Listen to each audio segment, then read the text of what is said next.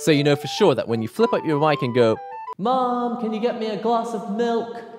and then you flip it back down, you'll know for sure that your stream didn't hear your embarrassing speech. Hello and welcome to the Nihongo Gamer video. As you can see, I've got the Victrix Gambit wireless headset. And this is a really exciting product because until now, I've never really had a wireless headset. So now I've got one which is really funky and kind of fashionable too. So it means I can do cool stuff like this, like walking away from my computer and you can still hear my voice. This microphone is a dynamic mic. You've got to like speak right into it. Otherwise you can't hear anything.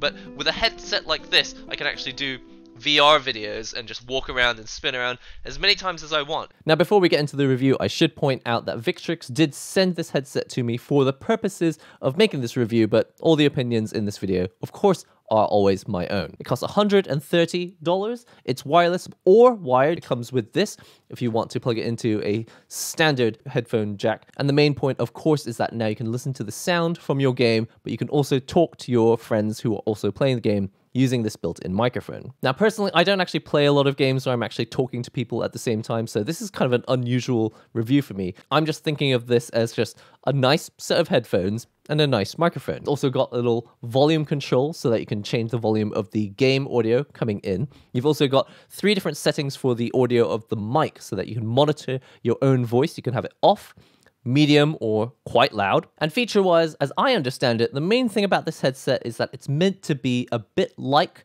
Victrix's expensive headset. Pro AF active noise cancelling headset. Now that headset by comparison is $300, so more than double the price of this one. But the main differences are you don't have the cool Victrix purple glowing logo on the side. It's just significantly less purple. You don't look like you're wearing an expensive cool headset. And with gaming accessories, it's almost more about the look than the actual quality of the item. It's sad. It's a sad situation, but the game is more important. Like the game is the main thing people are watching, and if your voice sounds terrible and the audio sounds terrible, it kind of doesn't even really matter. But I'm under the impression that the Victrix Pro AF ANC active noise cancelling headset is quite nice. So when I was asked to review this headset, they gave me a little bump about what this product is. They basically said it's like the expensive headset, but in a cheaper package. Now, the thing is, I usually just use a pair of standard headphones and a microphone, which means I can choose any microphone I want and I can use my own headset. They're not wireless, you have to use them with wire,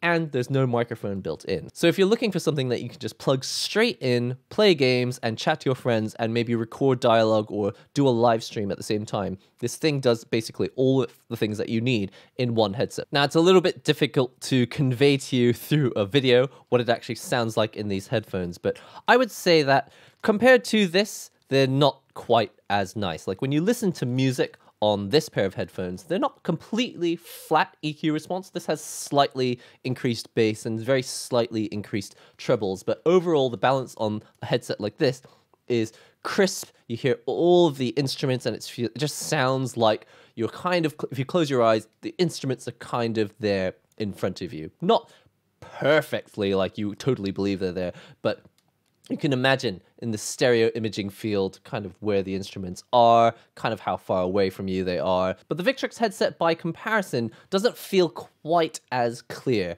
And in fact, instead of having like higher bass and higher trebles, it feels like it's almost the opposite. The middle is either bumped up or like the lows and the highs are kind of cut off a little bit. Now, when I was first testing this headset out, I thought, mm, that's a bit of a shame. Like $130, I want it to sound really, really nice. And I want it to be crisp in the top end and also kind of crisp and clear in the bass end as well. But when I started thinking about it, it is a gaming headset. And if you've got your own voice coming in through the monitor, because this actually feeds some of the sound directly to your ears so that you know exactly what you're saying. Because if you've never used headphones like this, it's kind of weird to not be able to hear your own voice. So the fact that it has instant monitoring of your voice with as far as I can tell no delay it's actually kind of important that it isn't too crisp on the top end because over like a 3 hour live stream or a 5 hour or 8 hour live stream you're going to get very very painful like ears because your own voice has got a lot of top end sibilance and sound. So what I originally thought was a bit of a minus point, in my opinion, for a gaming headset,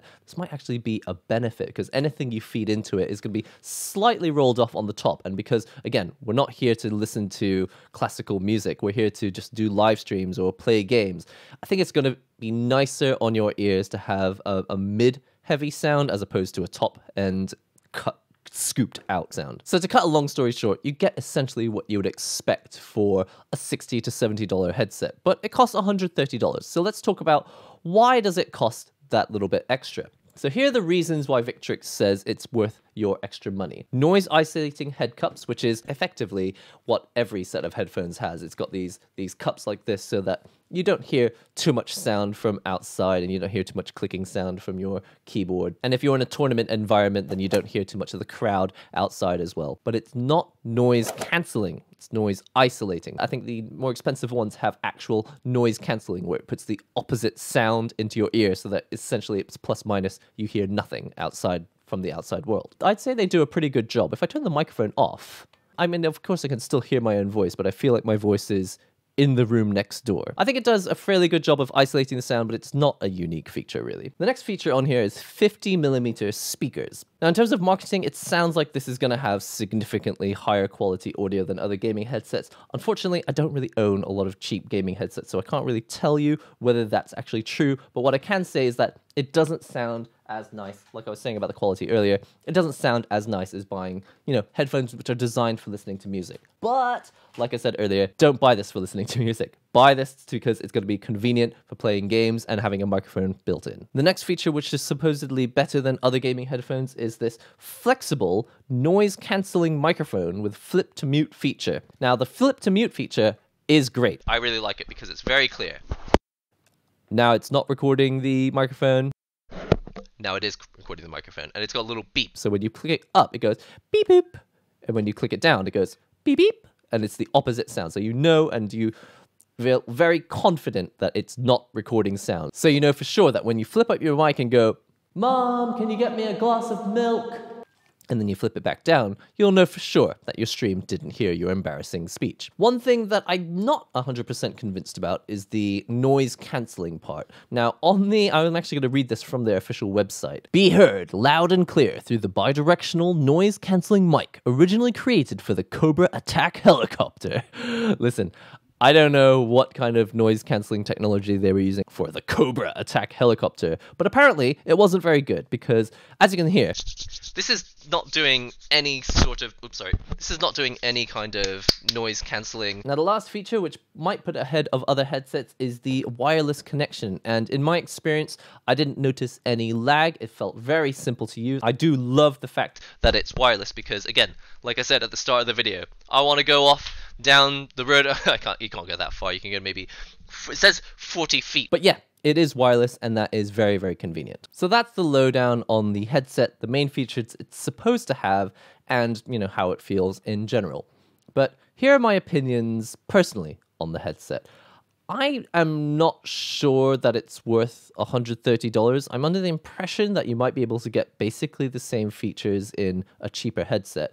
But it is quite nice and it does look kind of cool. The thing is, if you're going for that expensive Victrix look, you're not really getting it because you don't get the purple on the side of the headphones. And looks wise, it just makes your head look kind of wider than it is. Like I, I feel like I want this to be slimmer or something, but it makes my head look wider than when I've got other headphones. Maybe because it, it puffs out a lot. Speaking of puffing out a lot, you see these headphone cups, they look like they're really, really plush and really, really comfortable. This surface is not really touching all of your head. It's only like, it's kind of rounded, and so only like the tip of it is touching your head. And so when you're wearing it, it is really comfortable, but it's not as comfortable as these ear cups. Now, these ear cups didn't come with my original headphones. They cost like ten dollars. I think they cost ten dollars for the pair. But these are like some of the most comfortable ear cups I've ever had. They're not uncomfortable. I'm just saying I feel like for $130, it could have been nicer. The noise cancelling mic clearly doesn't do any noise cancelling whatsoever.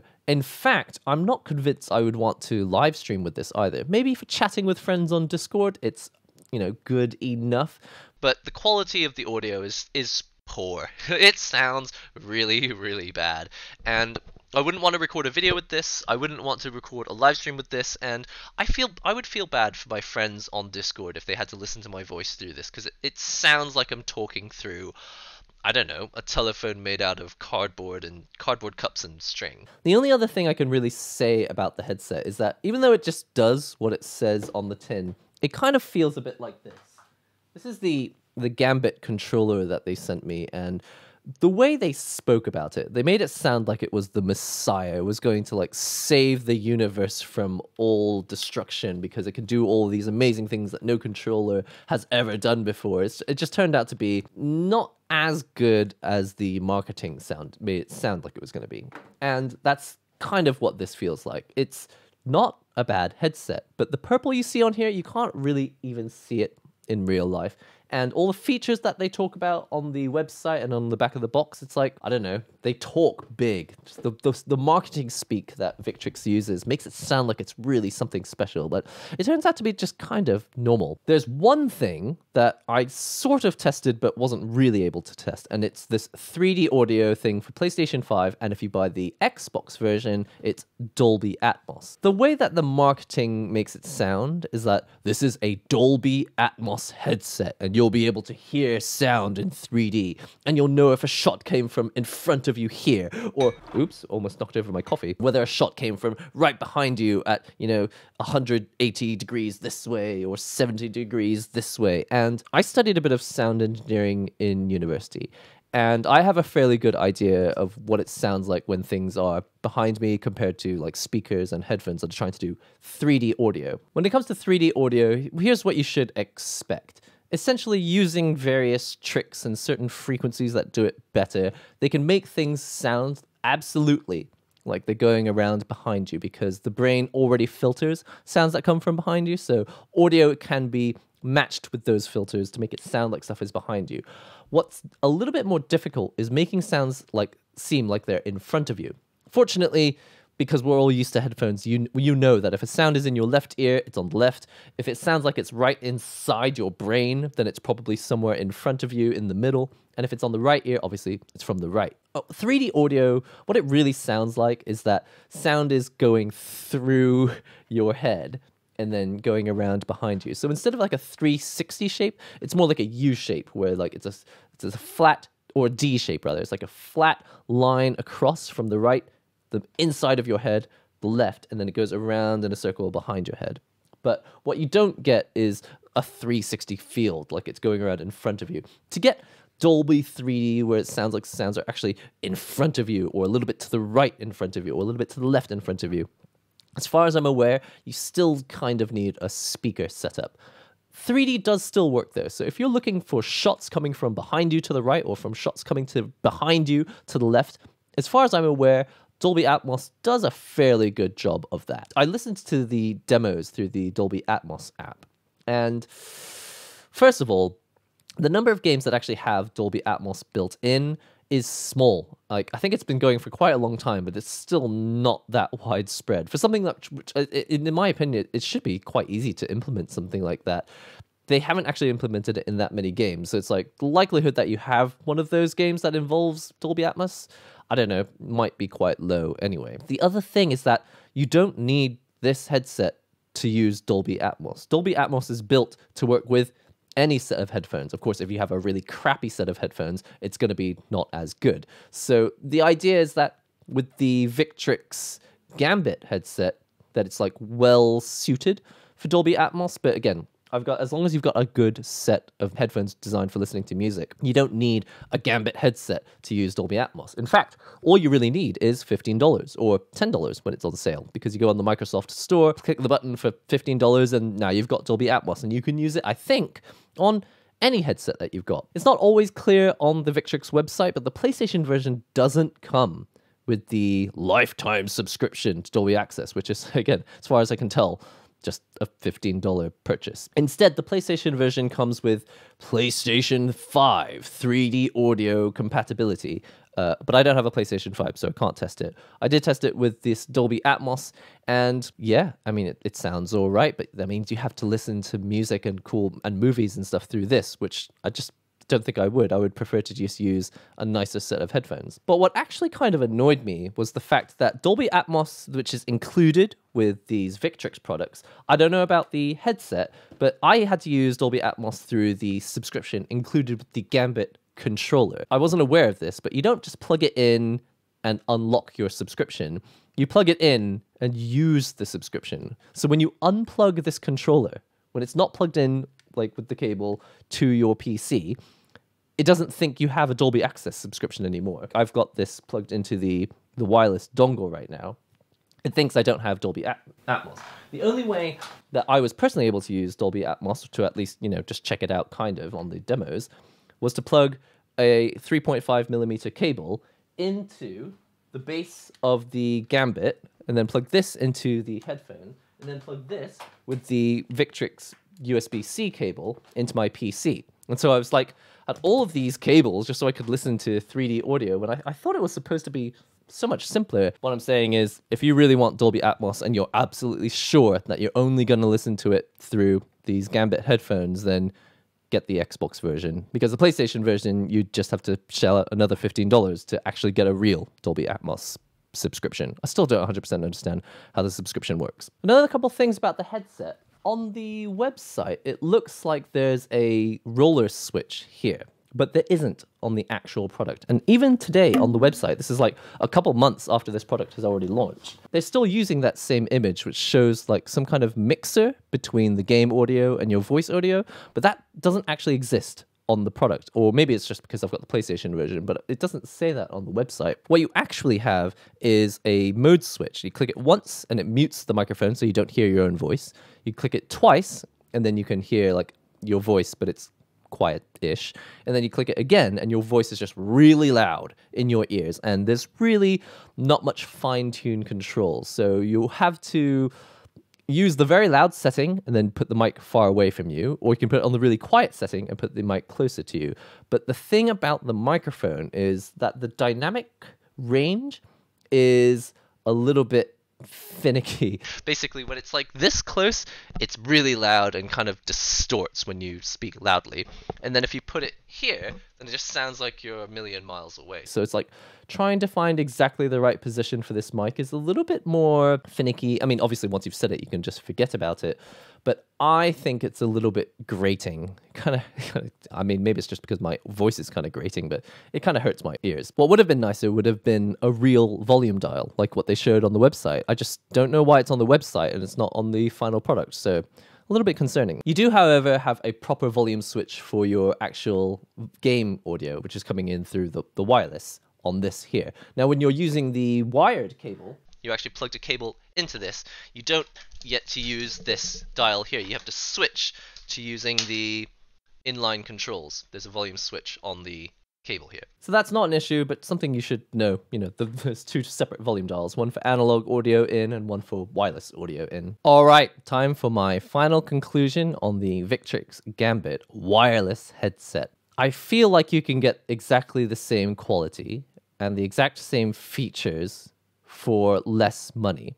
But if you get the Victrix version, you do get a very easy to use wireless dongle, which did work on my PlayStation 4. And you also get this cool feature where when you flip it like this, the mic is muted you click it down, and the mic is unmuted, and it's very clear. You hear the beep, and you know that it has switched itself off or switched itself on, so you can ask your mum to run errands for you, or dad, of course. And if price is not a concern of yours, the only other thing I would say when you're considering buying this is when you're on the website, be aware that a lot of the features in here, like they've they kind of blown out of proportion as if they're like life changing you've you're about to buy the most earth shattering sound ever made by a pair of headphones.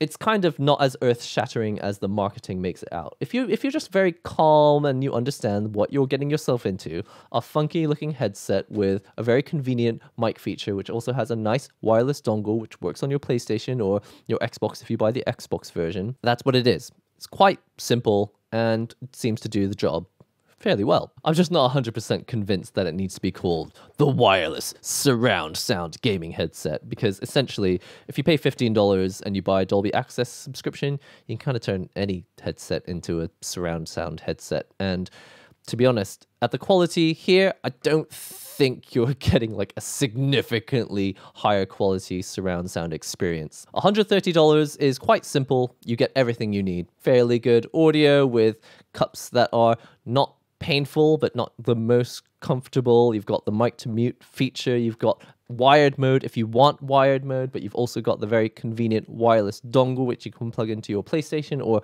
like what I'm doing right now, it's plugged into my PC. Which is recording the audio wirelessly so that you can play VR games and spin around 360 degrees and not get tangled up in cables. You can do your live streams. You could, if you, I suppose, if you wanted to, you could use this mic to record audio for videos. Again, I wouldn't, but maybe you would. You know, you don't get the purple on the side, but you do technically get the bragging rights that you bought a Victrix product. So it's a little bit like buying, this is a terrible analogy, but it's a little bit like buying a Porsche Boxster.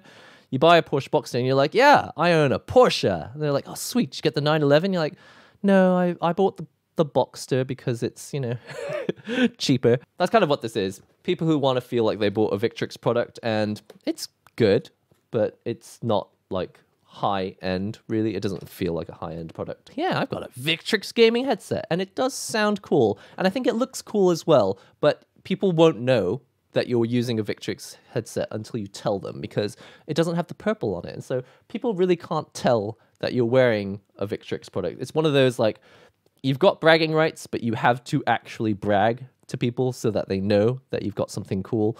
Um, and I don't know, is that really the point? Maybe you should just spend a bit more money and buy the, the more expensive one. Listen, that's all I've got time for in this review. I hope you've enjoyed yourself. If you enjoyed it, be sure to subscribe to the channel for more reviews like this. Leave a comment if you maybe you've got this headset and you've got some opinions you'd like to share, or maybe you've got some questions about the headset, leave them in the comment section below. And like the video, of course, if you enjoyed it.